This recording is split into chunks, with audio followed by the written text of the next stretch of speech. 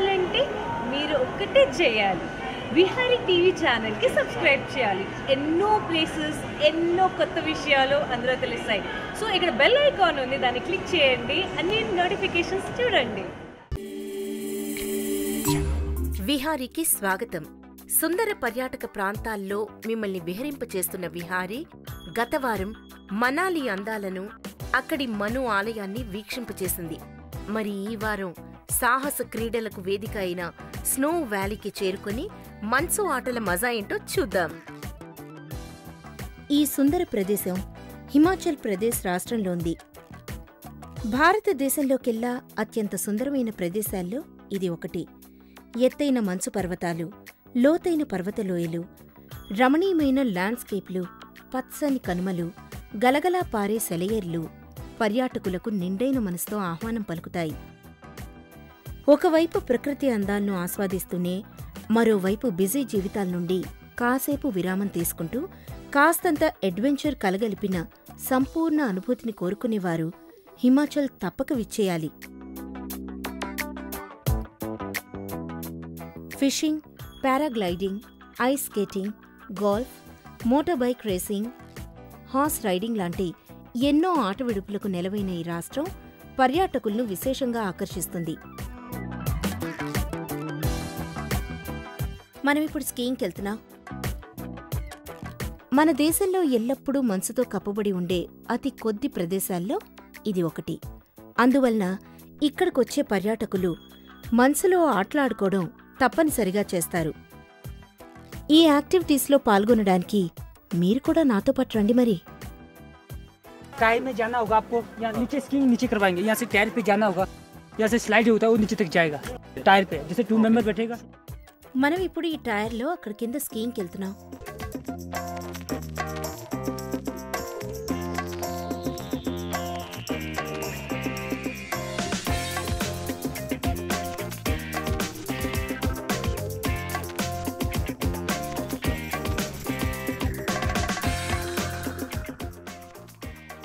ఇక్కడ చాలా జాగ్రత్తగా నడవాలి. లేకపోతే స్లిప్ అయిపోతాం.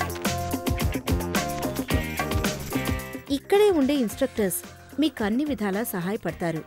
ఇక మీకు కావాల్సిన ఎక్విప్మెంట్ అంతా ఇక్కడే అద్దెకి దొరుకుతాయి. సో మీరు హిమాచల్ వచ్చినప్పుడు మీతో పాటు తెచ్చుకోవాల్సింది ఏంటంటే కాస్తంత ధైర్యం. మీ వరీస్ అన్నీ ఇంట్లో మూట కట్టేసి.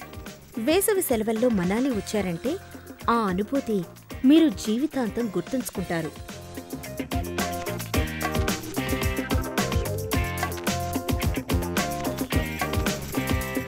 జమ్మూ కాశ్మీర్ ఉత్తరాంచల్ హిమాచల్ ప్రదేశ్ రాష్ట్రాల్లోని మంచుతో కప్పబడిన పర్వతాల్లో పర్యాటకులు తప్పక పాలు పంచుకునే యాక్టివిటీస్లో ఒకటి ఈ ఐస్ స్కేటింగ్. మంచులో పర్వతాలపై నుంచి జారుతూ ముందుకు ప్రయాణం చేయడానికి కర్రలతో మనల్ని మనం తోసుకుంటూ మంచులో జారడానికి అనువుగా స్కేటింగ్ షూస్ ధరించి చేసే ఐస్ స్కేటింగ్ నా జీవితంలో మర్చిపోలేని అనుభూతి. మొదట్లో కాస్తంత కష్టంగానే అనిపించే ఈ ఐస్ స్కేటింగ్ ప్రాక్టీస్ చేసే కొద్దీ కొత్త అనుభవాల్ని అనుభూతిని మనకి మిగులుస్తుంది. ప్రాక్టీస్ లేకుండా ఐస్ స్కేటింగ్ చేసేవారెవరికైనా పడిపోవడం స్కేటింగ్ చేస్తూ ముందుకెళ్ళలేకపోవడం లాంటి చిన్న చిన్ని కష్టాలు మాత్రం తప్పనిసరి. పట్టు విడవకుండా కాసేపు ప్రాక్టీస్ చేశారంటే చాలు.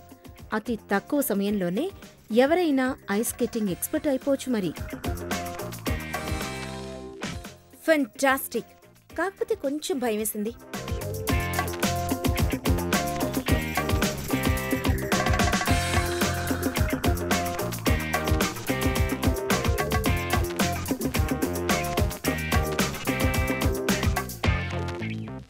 మన భారతదేశం ఒకప్పటి సంస్కృతి సంప్రదాయాలకు నెలవైందిగా పేరు పొందింది. కానీ ఇప్పుడిప్పుడే మొదలైన అడ్వెంచర్ స్పోర్ట్స్ ఈకో టూరిజం లాంటి కొత్త అంశాలు ప్రపంచం నలుమూలల నుండి పర్యాటకుల్ని విశేషంగా ఆకర్షిస్తున్నాయి. మన దేశంలో ఒక్కొక్క రాష్ట్రానికి ఒక్కో ప్రత్యేకత ఉంటుంది. కేరళలో బ్యాక్ వాటర్స్ లాగా హిమాచల్ ప్రదేశ్ మంచు పర్వతాలకు ప్రసిద్ధి. ఈ మంచు పర్వతాల్లో చేసిన ఐస్ స్కేటింగ్ చూశారుగా మరి? ఐస్ స్కేటింగ్ మాదిరిగానే పర్యాటకుల్ని విశేషంగా ఆకర్షించే మరొక activity mountain biking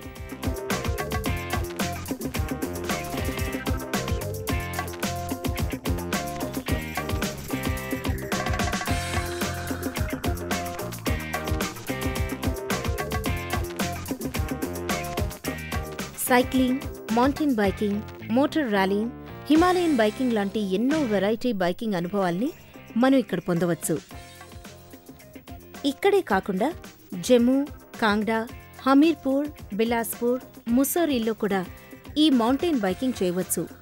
విదేశాల్లో తయారు చేయబడిన ఈ ప్రత్యేక మోటార్ బైక్లు మామూలు మోటార్ బైక్స్లా కాకుండా మంచులో ప్రయాణించడానికి వీలుగా ఒక ప్రత్యేక రీతిలో ఉంటాయి.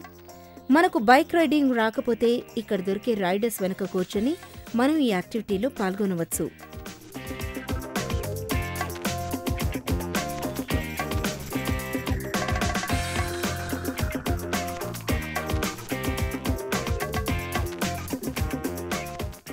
అన్ని వైపులా మంచుతో కప్పబడి ఉన్న ఈ ప్రదేశంలో ఈ బైక్పై చేసే ప్రయాణం స్వర్గం వైపుగా అనే అనుమానం కలుగజేస్తుంది.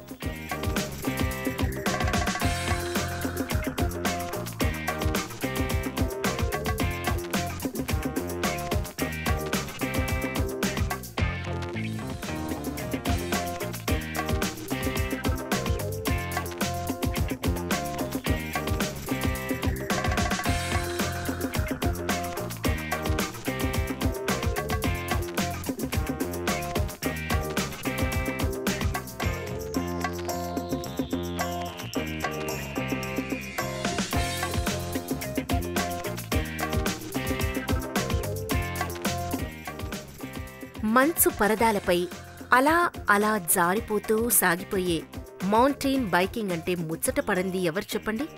నాకిప్పుడు ఛాన్స్ దొరికితే వదులుకుంటానా మరి?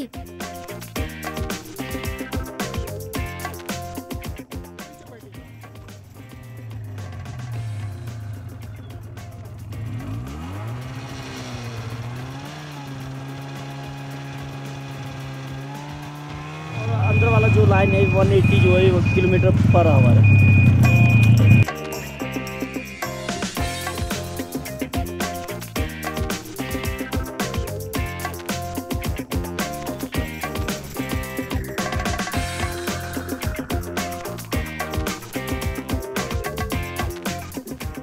इसका रेट बाहर तो सेवन थाउज़ेंड यूरो है। हाँ। फिर कस्टम ड्यूटी के साथ बहुत महँगा पड़ता है यहाँ पर सात लाख के करीब पहुँच जाता है।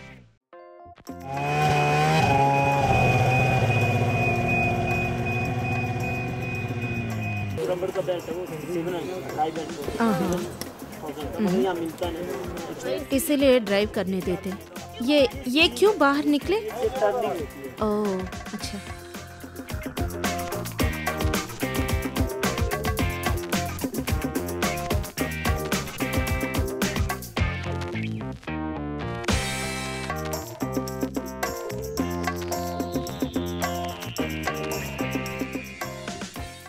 ఈ బైక్స్లో కూడా వెరైటీస్ ఉన్నాయి. ఇందాక ఎక్కిన వెరైటీ వేరు ఈ బైక్ వెరైటీ వేరు. ఈ బైక్ టోటల్ డిఫరెంట్గా ఉంది.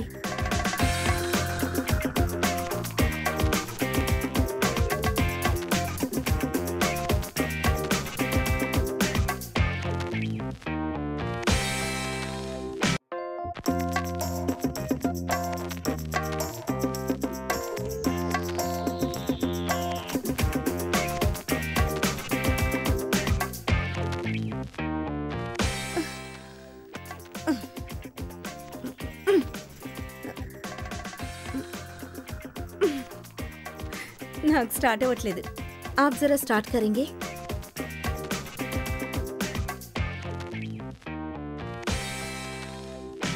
बैठिए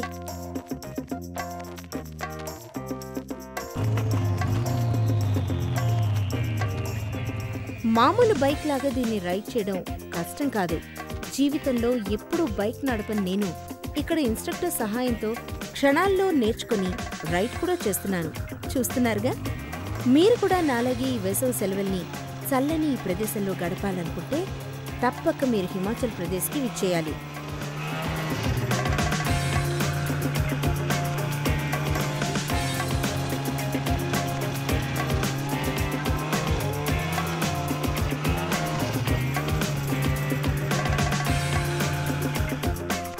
ఎత్తు పల్లాల్లో అలా అలా ముందుకు దూసుకుపోతుంటే మజా మాట అటుంచితే కాస్తంత భయం కూడా వేస్తుంది. అయినా మనతో పాటు నిపుణులు కూడా వెంట ఉంటారు కాబట్టి కాస్తంత ధైర్యం ధీమా.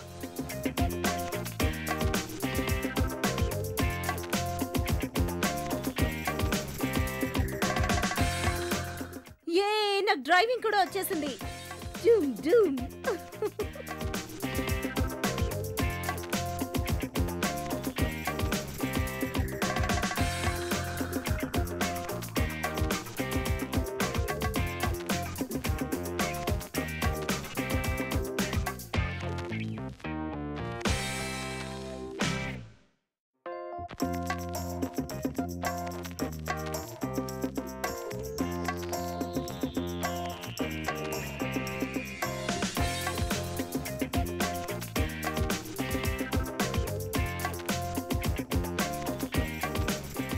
ముఖ్యంగా ఈ ప్రాంతానికి వచ్చేదే మంచు కోసం దాంతో ఆటలు ఆడి ఆనందించడం కోసం.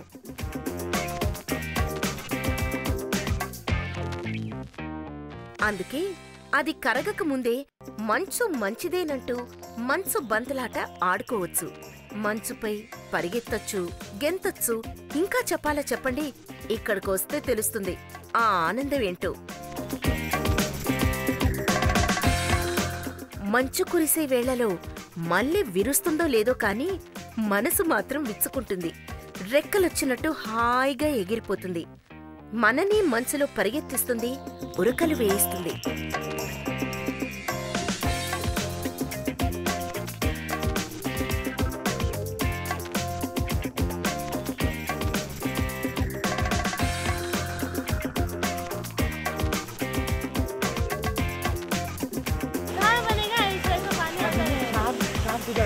अंधेरा हो जाएगा अब ठंड जितना ठंड हो जाएगी उतना टेम्परेचर होगा అదేంటి ఈ గుర్రానికి డ్రైవర్ మారిపోయాడని అనుకుంటున్నారా అసలు ఆ సామికి అర్జెంటుగా గిరాకీ ఏదో వచ్చి ఇలా తన తమ్ముణ్ణి పంపించాడు అసలే తెలియని ప్రాంతం అందులోనూ మిగతా పర్యాటకులంతా ఎప్పుడో వెళ్ళిపోయారు అసలే చిన్నపిల్లాడండి ఈ గుర్రం అదుపు తప్పితే అదుపులో పెట్టగలడో లేదో అని నాకు భయమేస్తోంది హమ్మయ్యా అన్నగారు వచ్చేశారు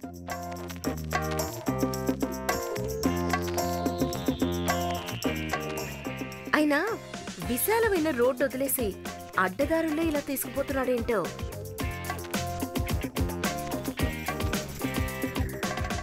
మొత్తానికి గుర్రం రోడ్డెక్కింది. ఇక ఇప్పుడు నాకు కొండంత ధైర్యం వచ్చేసింది.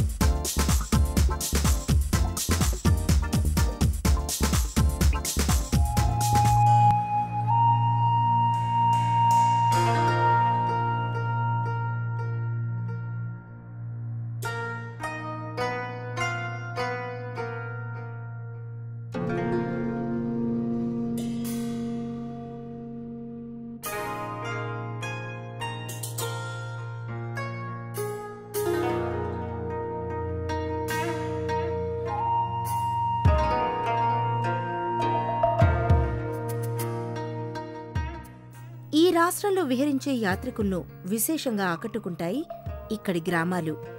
ముప్పై లేదా నలభై ఏళ్ళతో మంచు తాకిడిని తట్టుకోగలిగేలా ప్రత్యేక రీతిలో నిర్మించబడి ఉంటాయి ఈ గ్రామాలు. మొబైల్ మార్కెట్లు ఇక్కడి ప్రజలకు అందుబాటులో ఉంటాయి. ఈ మొబైల్ మార్కెట్ల ద్వారానే ప్రజలు తమకు కావలసిన కూరగాయలు మరియు ఇతర సామాగ్రి కొనుక్కుంటుంటారు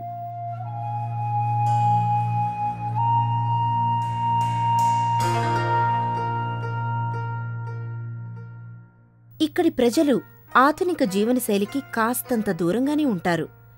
ఇక్కడి ప్రజలు దగ్గర్లోనే ఉండే ఎండిపోయిన చెట్ల ద్వారా లభ్యమయ్యే కట్టెల ద్వారానే తమ వంట వార్పులు కానిచ్చేస్తుంటారు.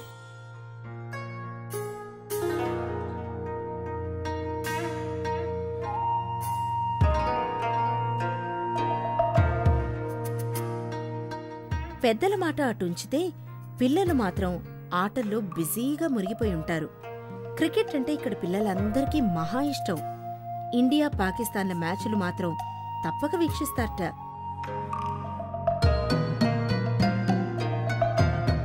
పెద్దలందరూ ఇక్క టూరిస్టులకు సేవలందిస్తూ బిజీగా ఉండడం మూలాన పిల్లలు వారి వారి తల్లిదండ్రులకు చేదోడు వాదోడుగా ఉంటూ చిన్న చిన్న పనులు చేస్తూనే స్కూలుకు వెళ్ళి తమ చదువులు సాగిస్తూ ఉంటారు.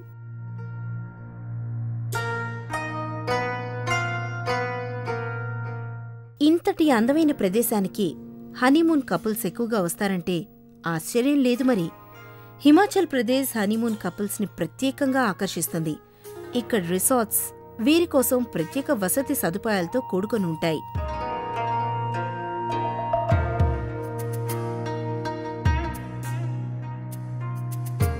ఇప్పుడు నేను చేరుకున్న గ్రీన్ ఆర్కిడ్ రిసార్ట్ ఇక్కడ రిసార్ట్స్లో ముఖ్యమైంది.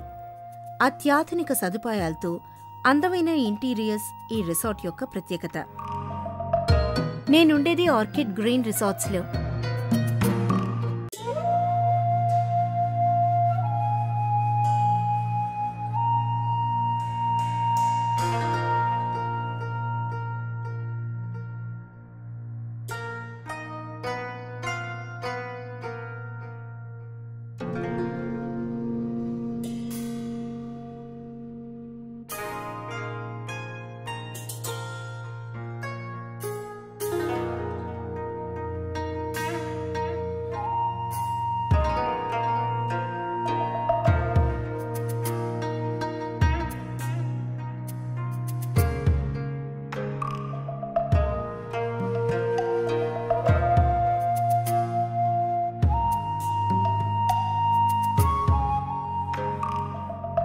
మరిక్కడ హోటల్లో దొరికే రుచికరమైన భోజనం గురించి ఇక చెప్పనే అక్కర్లేదనుకోండి.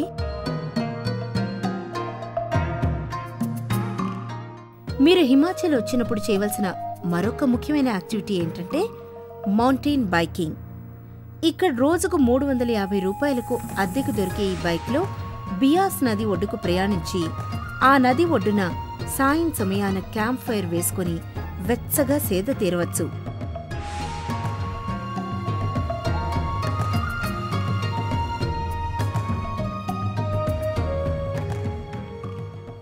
టైంలో నది పక్కగా ఇలా బైక్ పార్క్ చేసుకొని ఇలా చలి కాచుకుంటే చాలా బాగుంటుంది కదా?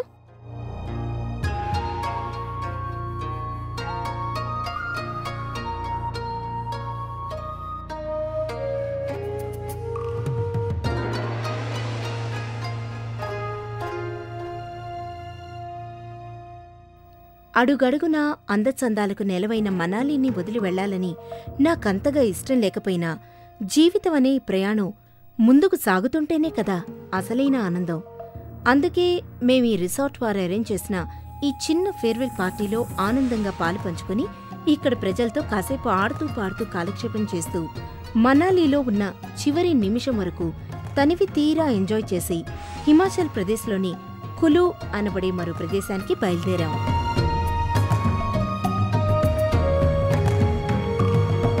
చూశారుగా హిమాచల్ అందాల్ని? వచ్చే వారం మరొక కొత్త లొకేషన్తో మీ ముందుంటాం. అంతవరకు సెలవు. Bye bye.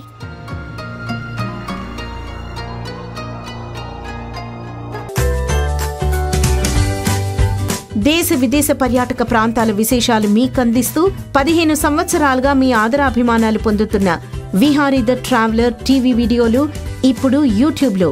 చూడండి సబ్స్క్రైబ్ చేయండి.